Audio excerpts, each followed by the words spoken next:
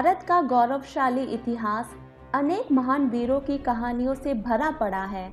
यहाँ के वीरों ने देश, जाति, धर्म तथा स्वाधीनता की रक्षा के लिए अपने प्राणों का बलिदान देने में कभी भी संकोच नहीं किया।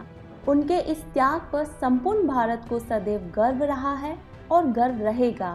वीरों की इस भूमि पर राजपूतों के छोटे बड़े अनेक राज्य रहे, जिन्होंने भारत की स्वाधीनता के लिए संघर्ष किया इन्हीं राज्यों में से एक मेवाड़ का अपना एक महत्वपूर्ण स्थान है, जिसमें इतिहास के गौरव बप्पा रावल, महाराणा हमीर, महाराणा कुंभा, महाराणा सांगा उदय सिंह और वीर शिरोमणि महाराणा प्रताप ने जन्म लिया।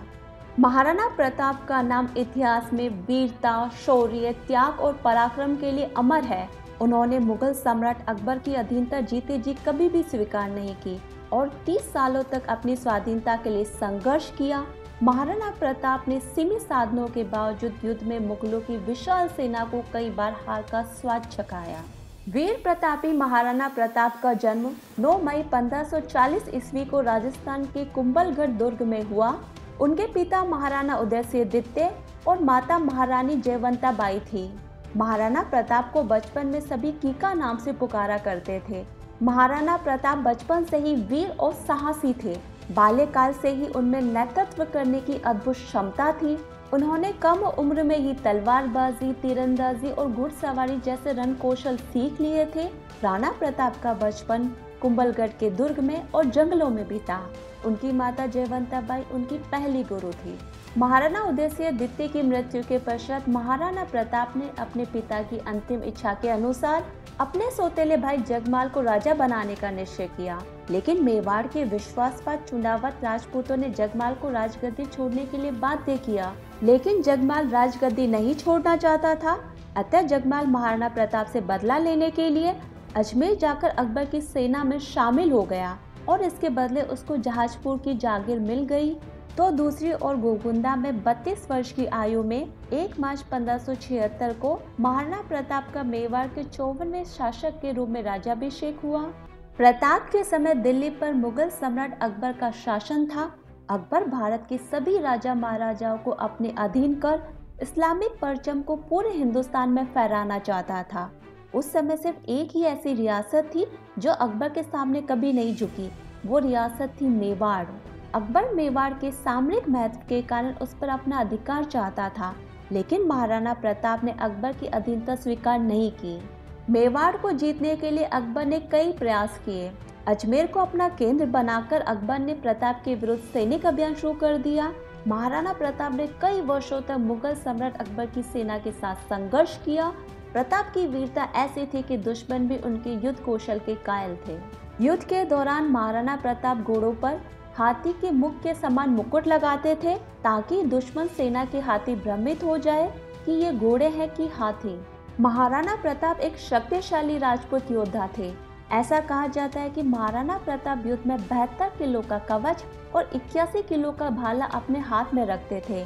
भाला कवच और ढाल तलवार का वज़न कुल मिलाकर 208 किलो था। राणा 208 किलो वज़न के साथ युद्ध के मैदान में उतरते थे।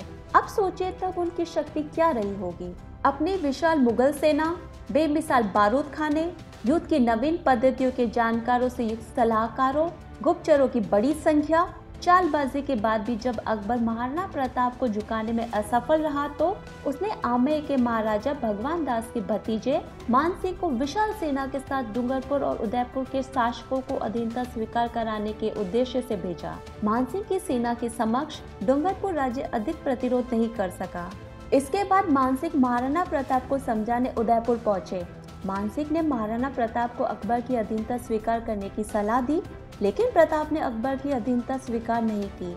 मानसिंह के उदयपुर से इस तरह खाली हाथ आ जाने को बादशाह ने करारी हार के रूप में लिया, तथा अपनी विशाल सेना को मेवाड़ पर आक्रमण करने के लिए भेज दिया।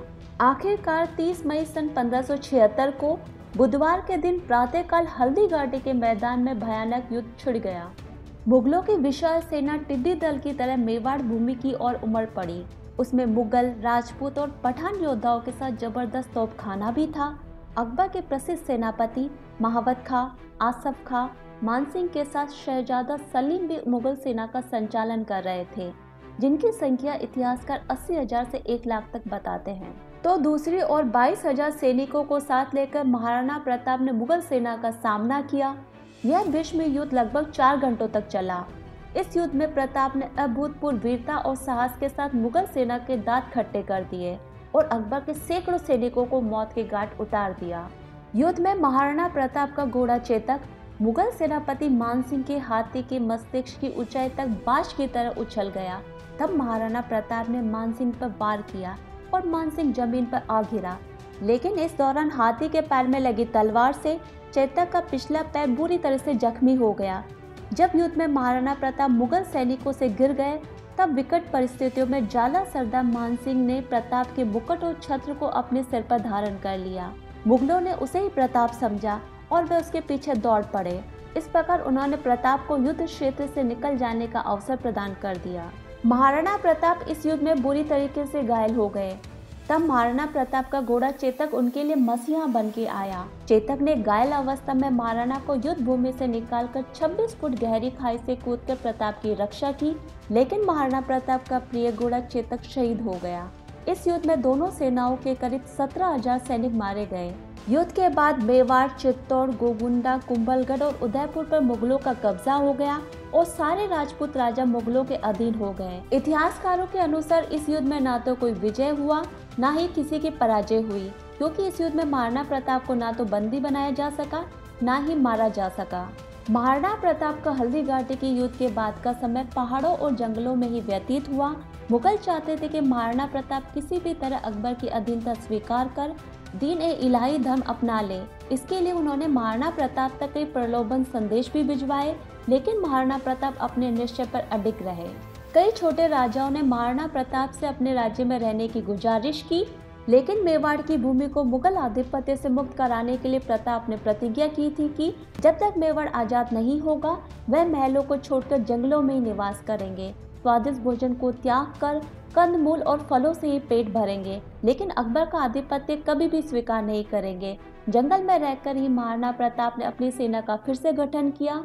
उन्होंने छपा मार युद्ध पद्धति से लड़ाई लड़ी और मुगलों से धीरे धीरे अपने क्षेत्र को फिर से छीन लिया। इस समय महाराणा को आर्थिक सहायता की ज़रूरत थी।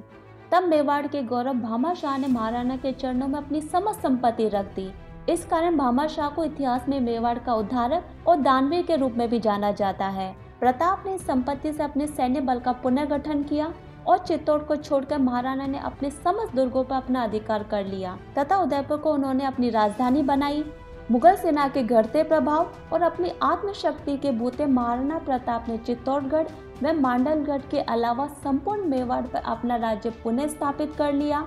इसके बाद भी मुगलों ने कई बार महाराणा प्रताप को चुनौती दी, लेकिन हर बार मुगलों को मुँह की खानी पड़ी। आखिरकार युद्ध और शिकार में लगी चोटों की वजह से महाराणा प्रताप की मृत्यु 19 जनवरी पंद्रह में सतावन वर्ष की आयु में चावंड में हुई। अपने जीवन में प्रताप ने कुल 12 विवाह किए।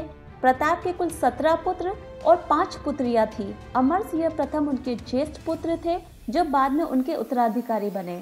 प्रताप ने अपने अंतिम समय तक अकबर की अधीनता स्वीकार नहीं की, जिसका अफसोस अकबर को भी अंत तक रहा। जब बादशाह अकबर को महाराणा प्रताप की मृत्यु की सूचना मिली, तब अकबर भी रो पड़ा। अकबर भी महाराणा प्रताप के गुणों और पराक्रम की इज़्ज़त करता था। उसको हमेशा ये अफसोस रहा कि वह महाराणा प्रताप को झुका नहीं सका। हेलो दोस्तों, अगर आपको ये मेरा वीडियो पसंद आया है तो लाइक बटन पर क्लिक कीजिए। और मेरे लेटेस्ट वीडियो से अपडेट रहने के लिए चैनल को सब्सक्राइब करना ना भूलिए।